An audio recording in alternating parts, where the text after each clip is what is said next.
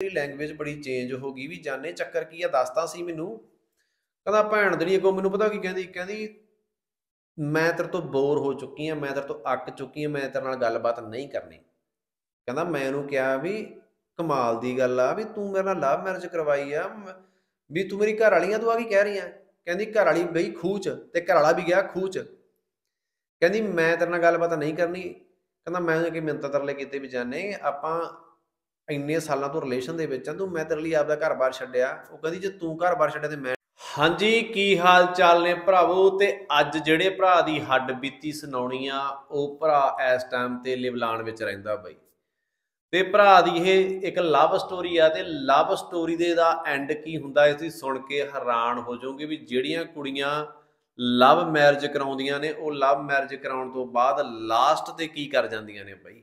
ਮੈਂ ਸਾਰੀਆਂ ਨੂੰ ਨਹੀਂ ਕਹਿੰਦਾ। ਪਰ ਜਿਹੜੀਆਂ ਕਰਦੀਆਂ ਨੇ, ਮੈਂ ਉਹਨਾਂ ਨੂੰ ਕਹੀ ਜਾਣਾ ਇਹ ਗੱਲ। ਉਹ ਭਰਾ ਇਸ ਟਾਈਮ ਤੇ ਲਿਵਲਾਨ ਦੇ ਵਿੱਚ ਰਹਿੰਦਾ ਬਈ, ਤੇ ਭਰਾ ਦੀ ਬਾਹ ਤੇ ਉਹਦਾ ਨਾਂ ਲਿਖਿਆ ਹੋਇਆ ਤੇ ਅੱਜ ਵੀ ਲਿਖਿਆ ਹੋਇਆ, ਬੰਦੇ ਨੇ ਮਟਾਇਆ ਨਹੀਂ। ਗੱਲ ਹੁਣ ਗੌਰ ਨਾਲ ਸੁਣਿਓ ਵੀ ਬਾਈ ਨਾਲ ਹੋਇਆ ਕੀ ਕੁਝ। ਕਹਿੰਦਾ ਉਹ ਕੁੜੀ 16 ਸਾਲਾਂ ਦੀ ਹੁੰਦੀ ਆ ਤੇ ਕਹਿੰਦਾ ਮੈਂ 19 ਕੁ ਸਾਲ ਦਾ ਹੁੰਨਾ, ਅਸੀਂ ਦੋਵੇਂ ਕਹਿੰਦਾ ਇਕੱਠੇ ਪੜ੍ਹਦੇ ਹੁੰਨੇ ਆ ਸਕੂਲ ਟਾਈਮ ਕਹਿੰਦਾ ਉਸ ਟਾਈਮ ਤੋਂ ਸਾਡੀ ਗੱਲਬਾਤ ਹੋ ਜਾਂਦੀ ਆ, ਇੱਕ ਦੂਜੇ ਨੂੰ ਕਹਿੰਦਾ ਅਸੀਂ ਬੇ, ਮੰਨ ਲਓ ਹੱਦਾਂ ਪਾਰ ਵਾਲਾ ਪਿਆਰ ਕਰਦੇ ਆ ਵੀ ਜਿਹਨੂੰ ਆਪਾਂ ਜਮਾ ਸਿਖਰ ਵਾਲਾ ਪਿਆਰ ਕਹਿੰਦੇ ਕਹਿੰਦਾ ਸਾਡਾ ਉਹ ਪਿਆਰ ਹੋ ਜਾਂਦਾ।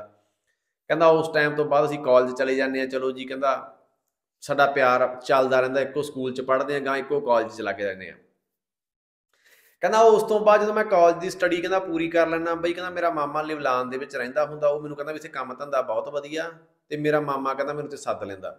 ਕਹਿੰਦਾ ਚਲੋ ਜੀ, ਮੈਂ ਸਟੱਡੀ ਪੂਰੀ ਕਰ ਲੈਣਾ ਤੇ ਮੈਂ ਲਿਵਲਾਨ ਦੇ ਵਿੱਚ ਆਪਦੇ ਮਾਮੇ ਕੋਲੇ ਚਲਾ ਜਾਣਾ ਉੱਥੇ ਆਪਦਾ ਕੰਮ ਧੰਦਾ ਕਰ ਲੈਣਾ ਕਹਿੰਦਾ, ਚਲੋ ਜੀ, ਸਾਡੀ ਫੋਨ ਤੇ ਗੱਲਬਾਤ ਹੁੰਦੀ ਰਹਿੰਦੀ ਹੈ ਰੋਜ਼ਾਨੇ ਹੁੰਦੀ ਰਹਿੰਦੀ ਹੈ ਫੋਨ ਤੇ ਗੱਲਬਾਤ, ਕਹਿੰਦਾ। ਕਹਿੰਦਾ, ਜਦੋਂ ਗੱਲਾਂ ਬਾਤਾਂ ਦੌਰਾਨ ਕਹਿੰਦਾ, ਮੈਂ ਉੱਥੇ 2-3 ਸਾਲ ਰਹਿਣਾ ਤੇ ਕਹਿੰਦਾ, ਕੁੜੀ ਕੀ ਕਰਦੀ ਆ ਵੀ ਆਪਦੇ ਪਿਓ ਨੂੰ ਕਹਿ ਦਿੰਦੀ ਆ ਵੀ ਮੈਂ ਉਸ ਮੁੰਡੇ ਨਾਲ ਵਿਆਹ ਕਰਾਉਣਾ। ਉਹ ਕੁੜੀ ਦਾ ਪਿਓ ਕਹਿੰਦਾ ਵੀ ਤੇਰਾ ਦਿਮਾਗ ਠੀਕ ਆ ਵੀ ਇੱਕੋ ਪਿੰਡ ਆ, ਉਸੇ ਪਿੰਡ ਦਾ ਉਹ ਮੁੰਡਾ, ਉਸੇ ਪਿੰਡ 'ਚ ਆਪਾਂ ਰਹਿੰਦੇ ਆ ਵੀ ਐ ਕਿਵੇਂ? ਕਿਉਂਕਿ ਕੁੜੀ ਮੁੰਡਾ ਇੱਕੋ ਪਿੰਡ ਦੇ ਸੀ ਵੀ ਦੋਵੇਂ। ਉਹ ਕਹਿੰਦਾ ਵੀ ਐ ਨਹੀਂ ਹੋ ਸਕਦਾ ਵੀ ਇੱਕੋ ਪਿੰਡ ਦੇ ਆਪਾਂ ਵੀ ਉਸੇ ਪਿੰਡ 'ਚ ਰਹਿੰਦੇ ਆ, ਮੁੰਡਾ ਵੀ ਉਸੇ ਪਿੰਡ 'ਚ ਰਹਿੰਦਾ ਵੀ ਜੇ ਤੂੰ ਕਿਤੇ ਹੋਰ ਗੱਲਬਾਤ ਹੁੰਦੀ, ਕਿਸੇ ਹੋਰ ਪਿੰਡ ਦਾ ਮੁੰਡਾ ਹੁੰਦਾ, ਅਸੀਂ ਵਿਆਹ ਕਰ ਦਿੰਦੇ, ਪਰ ਹੁਣ ਅਸੀਂ ਵਿਆਹ ਨਹੀਂ ਕਰਦੇ। ਕਹਿੰਦਾ ਕੁੜੀ ਪਿਓ ਨਾਲ ਤੂੰ ਤੂੰ, ਮੈਂ ਮੈਂ ਕਰਕੇ ਘਰੋਂ ਘਰ ਛੱਡ ਜਾਂਦੀ ਆ ਤੇ ਜਾ ਕੇ ਆਪਦੀ ਰਿਸ਼ਤੇਦਾਰੀ ਦੇ ਵਿੱਚ ਮੋਹਾਲੀ ਰਹਿਣ ਲੱਗ ਜਾਂਦੀ ਆ। ਕਹਿੰਦਾ ਜਦੋਂ ਮੋਹਾਲੀ ਚਲੀ ਜਾਂਦੀ ਆ ਤੇ ਉੱਥੇ ਜਾ ਕੇ ਫੋਨ ਤੇ ਕਹਿੰਦਾ ਮੇਰੇ ਨਾਲ ਗੱਲਬਾਤ ਕਰਦੀ ਰਹਿੰਦੀ ਆ, ਕਹਿੰਦੀ ਪਰ ਮੋਹਾਲੀ ਜਾ ਕੇ ਫੋਨ ਜਦੋਂ ਮੈਨੂੰ ਕਰਦੀ, ਮੈਨੂੰ ਦੱਸਦੀ ਆ ਵੀ ਭਾਈ ਮੈਂ ਤਾਂ ਆਪਦਾ ਘਰ-ਬਾਰ ਛੱਡਤਾ। ਉਹ ਮੁੰਡਾ ਕਹਿੰਦਾ ਵੀ ਘਰ-ਬਾਰ ਤੂੰ ਕਿਉਂ ਛੱਡਤਾ? ਉਹ ਕਹਿੰਦੀ ਮੈਂ ਆਪਦੇ ਪਿਓ ਨਾਲ ਗੱਲ ਕੀਤੀ ਸੀ ਵੀ ਮੈਂ ਵੀ ਉਸ ਮੁੰਡੇ ਨਾਲ ਵਿਆਹ ਕਰਾਉਣਾ ਤੇ ਮੇਰਾ ਪਿਓ ਕਹਿੰਦਾ ਮੈਂ ਤਾਂ ਇਹ ਗੱਲ ਵੀ ਮੈਂ ਤਾਂ ਜਦੋਂ ਤੱਕ ਜਿਉਂਦਾ ਰਿਹਾ ਮੈਂ ਤੇਰਾ ਵਿਆਹ ਨਹੀਂ ਉੱਥੇ ਹੋਣ ਦਿੰਦਾ, ਕਹਿੰਦਾ ਮੈਂ ਘਰ ਛੱਡਤਾ। ਉਹ ਕਹਿੰਦਾ ਵੀ ਮੈਨੂੰ ਤਾਂ ਪੁੱਛ ਲੈਂਦੀ ਵੀ ਤੂੰ ਘਰੇ ਹਰੇ ਗੱਲ ਕਰਨ ਦੀ ਕੀ ਲੋੜ ਸੀ? ਆਪਾਂ ਆਰਾਮ ਨਾਲ ਗੱਲ ਕਰਦੇ, ਮੈਂ ਇੰਡੀਆ ਆਉਂਦਾ, ਇੰਡੀਆ ਆਪਾਂ ਬਹਿ ਕੇ ਗੱਲਬਾਤ ਕਰ ਲੈਂਦੇ, ਵੀ ਵਿੱਚ ਰਿਸ਼ਤੇਦਾਰਾਂ ਨੂੰ ਪਾਲਣ ਦੇ, ਵੀ ਤੈਨੂੰ ਹਜੇ ਏਡੀ ਕੀ ਕਾਹਲੀ ਸੀ ਗੱਲਬਾਤ ਕਰਨ ਦੀ? ਕਹਿੰਦਾ, ਚਲੋ ਜੀ, ਕੁੜੀ ਫੋਨ ਤੇ ਮੈਨੂੰ ਇੱਕੋ ਧਮਕੀ ਦਿੰਦੀ ਆ ਵੀ ਗੱਲ ਸੁਣ ਲਾ ਮੇਰੀ, ਠੀਕ ਆ, ਮੈਂ ਆਪਦਾ ਘਰ-ਬਾਰ ਛੱਡਤਾ। ਜੇ ਤੂੰ ਇੰਨੇ ਦਿਨਾਂ ਦੇ ਵਿੱਚ ਵਿੱਚ ਇੰਡੀਆ ਆ ਕੇ ਮੇਰੇ ਨਾਲ ਵਿਆਹ ਨਾ ਕਰਾਇਆ ਤਾਂ ਮੈਂ ਮਰ ਜੂਗੀ। ਕਹਿੰਦਾ ਵੀ ਜਦੋਂ ਐਡੀ ਮੁਹੱਬਤ ਹੋਵੇ, ਐਡਾ ਪਿਆਰ ਹੋਵੇ ਤੇ ਜਦੋਂ ਕਹਿੰਦਾ ਵੀ ਮਸ਼ੂਕ ਐ ਕਹਦੇ ਆਸ਼ਕ ਨੂੰ ਵੀ ਮੈਂ ਮਰ ਜੂਗੀ, ਮੇਰੇ ਨਾਲ ਜੇ ਵਿਆਹ ਨਾ ਕਰਾਇਆ, ਕਹਿੰਦਾ ਬਸ ਫਿਰ ਕਹਿੰਦਾ ਕਹਿੰਦਾ ਮੇਰਾ ਪਿਆਰ ਸੀ ਕਹਿੰਦਾ ਮੇਰੇ ਦਿਲ 'ਚ ਉਹਦੇ ਲਈ ਹੋਰ ਵੀ ਗੂੜਾ ਹੋ ਗਿਆ ਵੀ ਯਾਰ ਇੰਨਾ ਪਿਆਰ ਯਾਰ ਕੁੜੀ ਨੇ ਆਪਦਾ ਘਰ ਛੱਡਤਾ ਮੇਰੇ ਲਈ, ਹਨਾ? ਵੀ ਹੁਣ ਕਹਿੰਦੀ ਮੈਂ ਮਰ ਜਾਊਂਗੀ ਕਹਿੰਦਾ ਜਦੋਂ ਨੂੰ ਪਿਆਰ ਬੰਦੇ ਨੂੰ ਸੱਚਾ ਹੋਵੇ ਨਾ, ਕਹਿੰਦਾ ਫਿਰ ਬੰਦਾ ਐ ਸੋਚਦਾ ਵੀ ਯਾਰ ਜੇ ਮਰ ਗਈ ਫੇਰ, ਹਨਾ? ਵੀ ਜੇ ਉਹ ਸੱਚੀ ਮਰ ਗਈ, ਮੈਂ ਇੱਥੇ ਬੈਠਾ ਰਿਹਾ, ਸਾਰੀ ਉਮਰ ਆਪਣੇ ਆਪ ਨੂੰ ਕੋਸਦਾ ਮਰ ਜਾਊਂਗਾ ਵੀ ਸਾਲਿਆ ਤੈਨੂੰ ਉਹ ਇੰਨਾ ਪਿਆਰ ਕਰਦੀ ਸੀ ਵੀ ਤੂੰ ਇੰਡੀਆ ਨਹੀਂ ਜਾਏਗਾ ਤਾਂ ਵਿਆਹ ਕਰਾਉਣ ਵਾਸਤੇ ਉਸ ਕੁੜੀ ਨਾਲ, ਹਨਾ? ਵੀ ਤੂੰ ਬੇਵਫਾ ਹੋ ਗਿਆ ਜਾਂ ਧੋਖੇਬਾਜ਼ ਹੋ ਗਿਆ ਕੁਝ ਵੀ ਲਾ ਲਾ। ਕਹਿੰਦਾ ਬਾਈ ਮੈਂ ਆਪਦੇ ਮਾਮੇ ਨਾਲ ਗੱਲ ਕਰਦਾ ਵੀ ਮਾਮਾ ਗੱਲ ਆਏ ਆ ਵੀ ਮੇਰੀ ਉਹ ਕੁੜੀ ਨਾਲ ਗੱਲਬਾਤ ਸੀ, ਉਹ ਆਪਦਾ ਘਰ-ਬਾਰ ਛੱਡ ਕੇ ਚਲੀ ਗਈ ਆ ਤੇ ਹੁਣ ਉਹ ਕਹਿੰਦੀ ਮੈਂ ਮਰ ਜੂਗੀ ਜੇ ਮੇਰੇ ਨਾਲ ਵਿਆਹ ਨਾ ਕਰਾਇਆ ਤੇ ਇੰਨੇ ਦਿਨਾਂ ਦੇ ਵਿੱਚ ਇੰਡੀਆ ਆ ਜਾ। ਕਹਿੰਦਾ ਮੇਰਾ ਮਾਮਾ ਕਹਿੰਦਾ ਵੀ ਚੱਲ ਪੁੱਤ ਠੀਕ ਆ ਵੀ ਕਹਿੰਦਾ ਫਿਰ ਮਾਮੇ ਭਾਣਜੇ ਦੀ ਗੱਲਬਾਤ ਤੁਹਾਨੂੰ ਪਤਾ ਹੀ ਰਲ ਜਾਂਦੀ ਸਿਟੀ ਕਹਿੰਦਾ ਮਾਮਾ ਕਹਿੰਦਾ ਚੱਲ ਠੀਕ ਆ ਯਾਰ ਵੀ ਜੇ ਤੂੰ ਕਹਿਣਾ ਤੇ ਵੀ ਜਾ ਵੜ ਤੇ ਕਹਿੰਦਾ ਚਲੋ ਜੀ ਮੈਂ ਆਉਣਾ ਘਰੇ, ਮੈਂ ਘਰੇ ਕਹਿੰਦਾ ਆਪਣੇ ਪਿਓ ਨਾਲ ਆ ਕੇ ਗੱਲ ਕਰਦਾ ਵੀ ਇਸ ਤਰ੍ਹਾਂ ਕਰਕੇ। ਕਹਿੰਦਾ ਮੇਰਾ ਪਿਓ ਸਿੱਧਾ ਕਹਿੰਦਾ ਵੀ ਜੇ ਤੂੰ ਪਿੰਡ ਦੀ ਕੁੜੀ ਨਾਲ ਵਿਆਹ ਕਰਾਇਆ ਨਾ, ਤੂੰ ਸਾਡੇ ਲਈ ਮਰ ਗਿਆ ਸੀ ਤੇਰੇ ਲਈ ਮਰ ਗਿਆ ਵੀ ਸਾਡੇ ਘਰੇ ਨਾ ਬੜੀ ਕਹਿੰਦਾ ਮੈਂ ਕਿਹਾ ਯਾਰ ਬੜਾ ਫਸੇ, ਕਹਿੰਦਾ ਯਾਰ। ਕਹਿੰਦਾ ਚਲੋ ਜੀ, ਮੈਂ ਵੀ ਘਰ ਕਹਿੰਦਾ ਛੱਡ ਦਿੰਦਾ ਮੈਂ ਵੀ ਆਪਦੇ ਮਾਂ ਪਿਓ ਨੂੰ ਠੋਕਰ ਮਾਰ ਦਿੰਦਾ ਉਸ ਕੁੜੀ ਪਿੱਛੇ। ਕਹਿੰਦਾ ਮੈਂ ਆਪਦੇ ਨਾਨਕਿਆਂ ਘਰੇ ਜਾਣਾ ਨਾਨਕਿਆਂ ਦੇ ਆਪਦੇ ਨਾਨਕਿਆਂ ਨੂੰ ਵਿੱਚ ਪਾ ਕੇ, ਉਧਰ ਕੁੜੀ ਦੇ ਨਾਨਕਿਆਂ ਨੂੰ ਵਿੱਚ ਪਾ ਕੇ ਸਾਡੀ ਕੋਰਟ ਮੈਰਿਜ ਕਰਾ ਦਿੰਦੇ ਆ।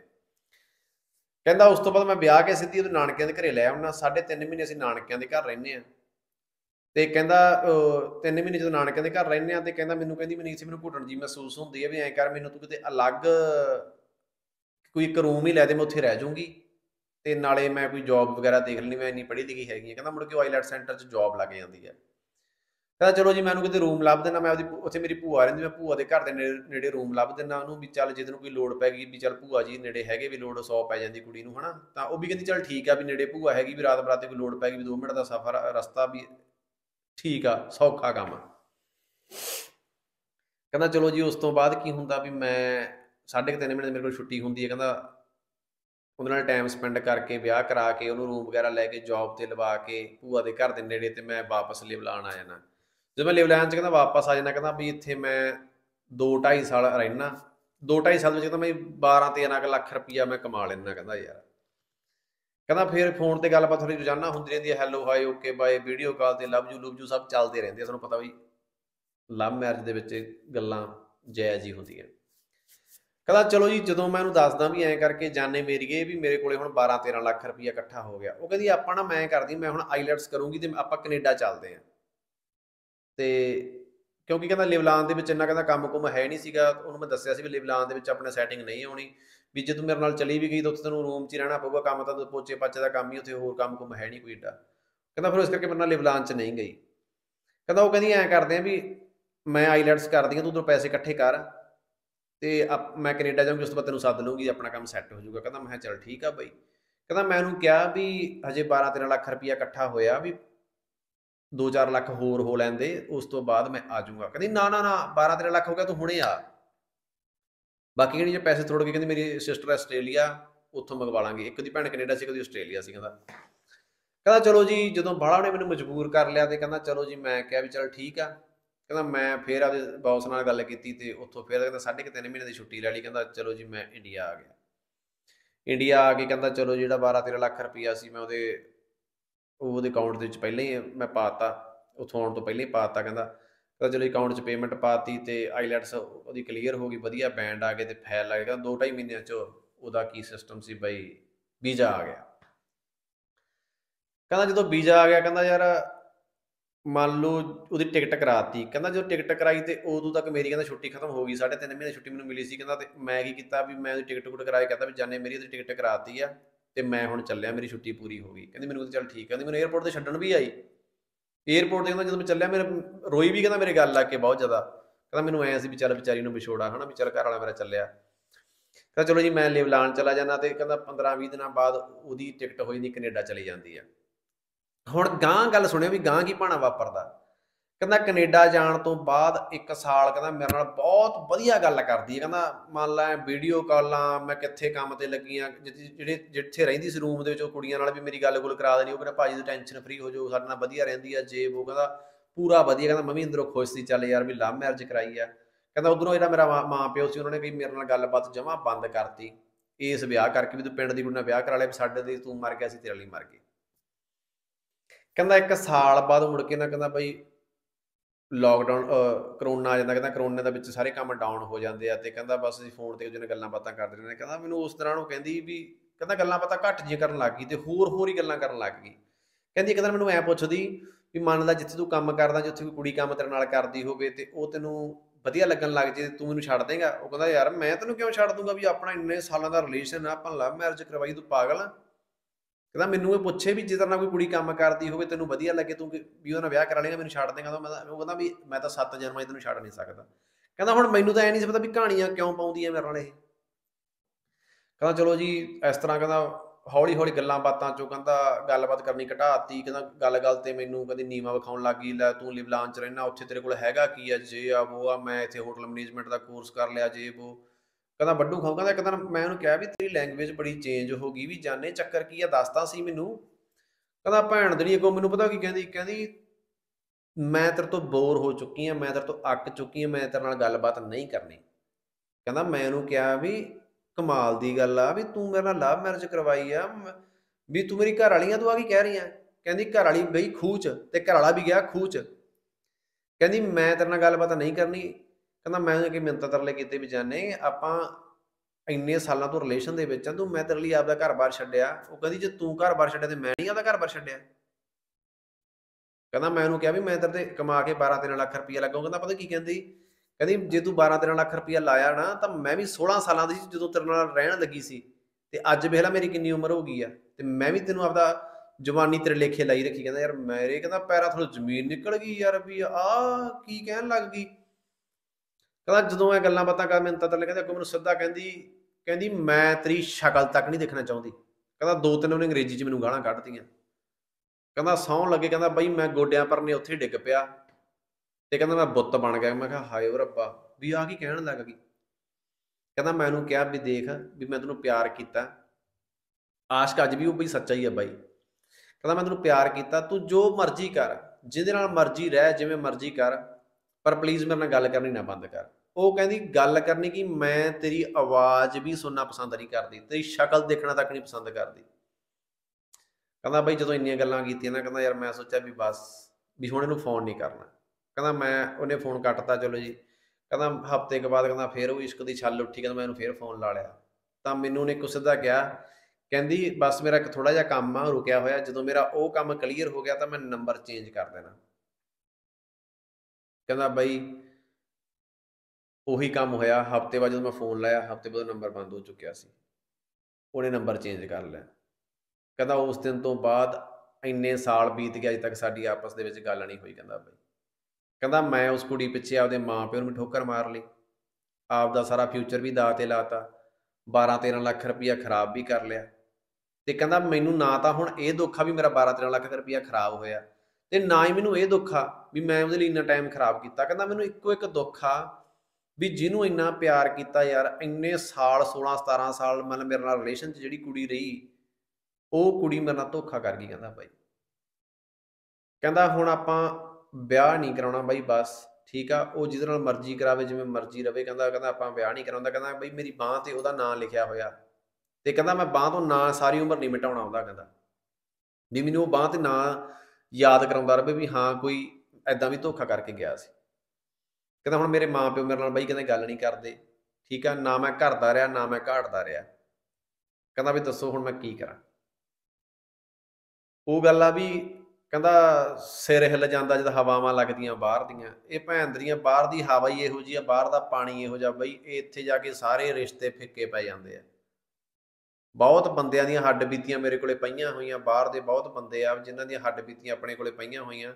ਬਹੁਤ ਭਰਾਵਾਂ ਨੇ ਦੱਸੀਆਂ, ਬੜੀਆਂ ਭੈਣਾਂ ਨੇ ਵੀ ਗੱਲਾਂ ਪਤਾ ਦੱਸੀਆਂ ਵੀ ਆਹ ਕੁਛ ਇੱਥੇ ਹੁੰਦਾ। ਪਰ ਕਈ ਹੁਣ ਜਿਹੜੇ ਪੰਜਾਬ 'ਚ ਬੈਠੇ ਹੋ ਕਹਿੰਦੇ ਨਾ ਨਾ ਨਾ, ਉੱਥੇ ਤਾਂ ਐ ਹੁੰਦਾ ਹੀ ਨਹੀਂ। ਪਰ ਜਿਹੜੀਆਂ ਸਾਰੀਆਂ ਇਹ ਹੱਡ ਬੀਤੀਆਂ, ਇਹ ਬਾਹਰੋਂ ਫੋਨ ਕਰਕੇ ਭਰਾ ਦੱਸਦੇ ਆ ਵੀ ਬਾਈ ਇੱਥੇ ਇੰਨਾ ਕੁ ਕੁਝ ਹੋਈ ਜਾਂਦਾ ਨਾ ਵੀ ਤੁਸੀਂ ਸੋਚ ਵੀ ਨਹੀਂ ਸਕਦੇ। ਹੁਣ ਦੇਖੋ ਕਿ ਕਿਵੇਂ 16 ਸਾਲਾਂ ਦੀ ਕੁੜੀ ਦਾ ਰਿਲੇਸ਼ਨ ਸੀਗਾ ਕਿਵੇਂ ਉਹ ਬੰਦੇ ਨਾਲ ਪਿਆਰ ਕੀਤਾ, ਹਨਾ? ਕਿਵੇਂ ਉਹ ਬੰਦੇ ਨੇ ਵਿਆਹ ਕਰਾਇਆ, ਆਪਦੇ ਮਾਪਿਆਂ ਨੂੰ ਠੋਕਰ ਮਾਰਤੀ ਤੇ ਜਦੋਂ ਕੈਨੇਡਾ ਗਈ, ਕੈਨੇਡਾ ਜਾ ਕੇ ਰੰਗ ਵਟਾ ਗਈ। ਹੁਣ ਉਹ ਬੰਦਾ ਕਹਿੰਦਾ, ਬਈ, ਮੈਨੂੰ ਅੱਜ ਵੀ ਮੰਨ ਲਾ, ਮੇਰੇ ਦਿਲ 'ਚ ਅੱਜ ਵੀ ਉਹਦੇ ਲਈ ਬਹੁਤ ਕੁਛ ਆ। ਕਹਿੰਦਾ, ਬੜਾ ਮੰਨ ਲਾ ਵੀ ਮੈਂ ਅੱਜ ਵੀ ਦੀ ਰਿਸਪੈਕਟ ਕਰਦਾ, ਪਿਆਰ ਕਰਦਾ। ਕਹਿੰਦਾ, ਜਦੋਂ ਬੰਦੇ ਨੂੰ ਕਿਸੇ ਨੂੰ ਪਿਆਰ ਕੀਤਾ ਹੋਵੇ ਨਾ, ਕਹਿੰਦਾ, ਬਾਈ, ਮੁੜ ਕੇ ਉਹਨੂੰ ਮਾੜਾ ਕਹਿਣਾ ਬਹੁਤ ਔਖਾ ਲੱਗਦਾ। ਕਹਿੰਦਾ, ਭਰਾਵਾ, ਮੇਰੀ ਆਹ ਲਵ ਸਟੋਰੀ ਤੇ, ਆਹ ਲਵ ਸਟੋਰੀ ਦਾ ਲਾਸਟ ਐਂਡ ਆ ਹੋਇਆ ਵੀ ਮੈਨੂੰ ਧੋਖਾ ਦੇਗੀ। ਤੇ ਮੈਨੂੰ ਭੈਣ ਦਾ ਅਜੇ ਤੱਕ ਇਹ ਨਹੀਂ ਪਤਾ ਲੱਗਿਆ ਯਾਰ ਵੀ ਆ ਕੈਨੇਡਾ ਕਨੂਡਾ ਦੇ ਵਿੱਚ ਇਹੋ ਜਿਹਾ ਕੀ ਆ ਯਾਰ ਵੀ ਜਿਹੜਾ ਜਾ ਕੇ ਬੰਦਾ ਬਦਲ ਜਾਂਦਾ ਯਾਰ। ਬੜੇ ਬੰਦੇ ਬਦਲੇ, ਬੜੇ ਬੜੀਆਂ ਕੁੜੀਆਂ ਬਦਲੀਆਂ, ਬੜੇ ਮੁੰਡੇ ਸਪਰੇਆਂ ਪੀ ਕੇ ਤੇ ਪੰਜਾਬ 'ਚ ਬੜੇ ਵਿਚਾਰਿਆਂ ਨੇ ਫਾਹ ਲੈ ਲਏ। ਵੀ ਉੱਥੇ ਇਹੋ ਜਿਹਾ ਕੀ ਆ ਯਾਰ ਜਿਹੜਾ ਮੰਨ ਲਾ ਬੰਦੇ ਦਾ ਸਿਰ ਹਿੱਲ ਜਾਂਦਾ ਜਾਂ ਪਾਣੀ ਪੂਣੀ 'ਚ ਕੋਈ ਮੰਨ ਲਓ ਫਾਲਟ ਆ ਵੀ ਉੱਥੋਂ ਵਾਲੇ 'ਚ ਯਾਰ। ਜਿਹੜੇ ਮੇਰੇ ਭਰਾ ਬਾਹਰ ਦੇ ਵੀਡੀਓ ਦੇਖਦੇ ਨਾ ਮੈਨੂੰ ਜਰੂਰ ਦੱਸਿਓ ਯਾਰ ਵੀ ਆ ਕੁੜੀਆਂ ਮੰਨ ਲਾ ਬਾਹਰ ਜਾ ਕੇ ਕਿਉਂ ਯਾਰ ਰੰਗ ਜਾ ਕਿਉਂ ਬਟਾ ਜਾਂਦੀਆਂ ਨੇ ਬਾਈ ਉੱਥੇ। ਇਹੋ ਜਿਹਾ ਹੈਗਾ ਕੀ ਆ ਯਾਰ ਮੈਨੂੰ ਦੱਸਿਓ ਜਰੂਰ। ਵੀ ਭੈਣ ਚੋ ਉਹਨਾਂ ਦੀ ਹਵਾ ਹੂਆ ਹੋਰ ਟਾਈਪ ਦੀ ਆ, ਵੀ ਬੰਦਾ ਸਾਹ ਲੈਂਦਾ ਤੇ ਬੰਦੇ ਦਾ ਰੰਗ ਵਟਾ ਜਾਂਦਾ ਤੇ ਜਾਂ ਉਹਨਾਂ ਦਾ ਪਾਣੀ ਇਹੋ ਜਿਹਾ ਵੀ ਉੱਥੇ ਜਾ ਕੇ ਹਰੇਕ ਰਿਸ਼ਤਾ ਹੀ ਫਿੱਕਾ ਪੈ ਜਾਂਦਾ ਬਾਈ। ਗੱਲ ਤਾਂ ਮੈਨੂੰ ਐਂ ਲੱਗਦਾ ਵੀ ਉੱਥੇ ਭੈਣ ਦੀ ਆਜ਼ਾਦੀ ਆ ਬਾਲੀ। ਤੇ ਜਦੋਂ ਵੰਨ ਸਵੰਨੇ, ਰੰਗ ਬਰੰਗੇ ਦਿਸਦੇ ਆ ਨਾ ਬਈ ਤੇ ਫਿਰ ਤੁਹਾਨੂੰ ਪਤਾ ਸਿਰ ਹਿੱਲ ਜਾਂਦੇ ਆ, ਸਿਰ ਹਿੱਲ ਜਾਂਦੇ ਆ। ਪਰ ਇੱਕ ਗੱਲ ਕਹਾਂ ਜਿਹੜੀਆਂ ਜਿਹੜੀਆਂ ਜਿਹੜੀਆਂ ਜਿਹੜੀਆਂ ਜਿਹੜੀਆਂ ਜਿਹੜੀਆਂ ਆਪ ਦਾ ਵਿਆਹ ਕਰਾ ਕੇ ਆਪਦੇ ਘਰ ਨੂੰ ਧੋਖਾ ਦਿੰਦੀਆਂ ਨੇ ਨਾ ਬਈ। ਕਹਿੰਦਾ ਧੋਖਾ ਕਰਕੇ ਗਈਆਂ ਸਾਡੇ ਨਾਲ ਤੇ ਧੋਖੇ ਖਾਵੇਂਗੀ। ਇਹ ਗੱਲ ਪੱਲੇ ਬੰਨ ਲਿਓ, ਜੇ ਤੁਸੀਂ ਗੁਰੂ ਦੀ ਹਜ਼ੂਰੀ 'ਚ ਚਾਰ ਲਾਵਾਂ ਲੈ ਕੇ ਆਪਦੇ ਘਰ ਵਾਲੇ ਦੀਆਂ ਨਹੀਂ ਬਣ ਸਕੀਆਂ ਨਾ, ਤਾਂ ਬਣਦੀਆਂ ਤੁਸੀਂ ਅੱਗੇ ਵੀ ਨਹੀਂ ਕਿਸੇ ਦੀਆਂ। ਬਸ ਗੱਲ ਜਿਸਮਾਂ ਤੇ ਆ ਕੇ ਮੁੱਕ ਜਾਣੀ ਆ, ਰੂਹਾਂ ਤੱਕ ਕਿਸੇ ਨੇ ਨਹੀਂ ਪਹੁੰਚਣਾ। ਅੱਜ ਤੁਸੀਂ ਜਿਹਦੇ ਪਿੱਛੇ ਆਪਦੇ ਘਰ ਨੂੰ ਛੱਡਤਾ, ਉਹ ਵੀ ਚਾਰ ਦਿਨ ਨਜ਼ਾਰੇ ਲੁੱਟ ਕੇ ਤੁਹਾਨੂੰ ਠੋਕਰ ਮਾਰ ਜੂਗਾ। ਨਾ ਘਰ ਦੀ, ਨਾ ਘਾਟ ਦੀ ਉਹ ਗੱਲ ਹੈ ਧੋਬੀ ਦੇ ਕੁੱਤੇ ਵਾਲੀ ਗੱਲ ਹੋ ਜਾਣੀ ਹੈ। ਪਰ ਇਹ ਗੱਲ ਕੋਈ ਸਮਝਣ ਨੂੰ ਤਿਆਰ ਨਹੀਂਗਾ ਇਸ ਕਰਕੇ ਵੀਡੀਓ ਨੂੰ ਦੱਬ ਕੇ ਸ਼ੇਅਰ ਕਰਿਓ ਭਰਾਵੋ।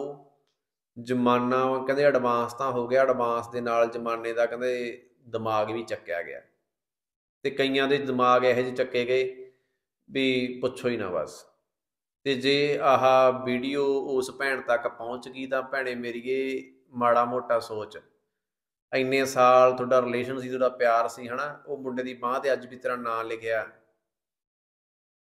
ਤੇ ਜਿਹਦੇ ਪਿੱਛੇ ਤੂੰ ਉਹਨੂੰ ਛੱਡ ਗਈ, ਤੂੰ ਇਹ ਸੋਚ ਵੀ ਜਿਹਦੇ ਨਾਲ ਤੂੰ 16 17 ਸਾਲ ਗੁਜ਼ਾਰੇ, ਤੂੰ ਉਹਦੀ ਨਹੀਂ ਹੋਈ, ਤੂੰ ਅੱਗੇ ਕਿਹਦੀ ਬਣ ਜਾਏਗੀ? ਮਾੜਾ ਮੋਟਾ ਸ਼ੀਸ਼ੇ 'ਚ ਖੜ ਕੇ ਆਪਣੇ ਆਪ ਨੂੰ ਦੇਖੀ, ਮੈਂ ਕਿੱਥੇ ਸਟੈਂਡ ਕਰਦੀ ਆ। ਤਾਂ ਵੀਡੀਓ ਨੂੰ ਬਈ ਦੱਬ ਕੇ ਸ਼ੇਅਰ ਕਰਿਓ। ਹੋ ਸਕਦਾ ਮੇਰੀ ਵੀਡੀਓ ਦੇਖ ਕੇ ਕੋਈ ਦੋ ਹੀ ਸਿਆਣੇ ਹੋ ਜਾਂਦਾ ਬਹੁਤ ਵੱਡੀ ਗੱਲ ਆ ਬਈ।